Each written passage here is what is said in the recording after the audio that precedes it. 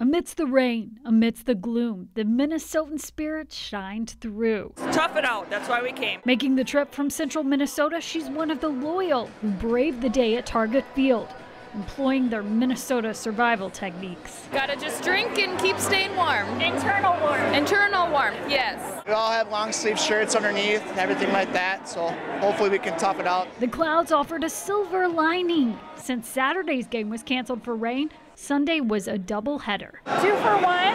Yep, two for one. Always a bright side, even on a dark day. Well, you don't have to shovel rain, and uh, you got to put up a little wind, but that's uh, change of seasons is what Minnesota's all about. So you take the good with the bad, I guess. That's what Lynn Kelly had to remind Marv. I don't like it at all. He's visiting from Florida. If you come back, come back in August. Okay. I think we can guarantee some warm weather. Hopefully. Maybe.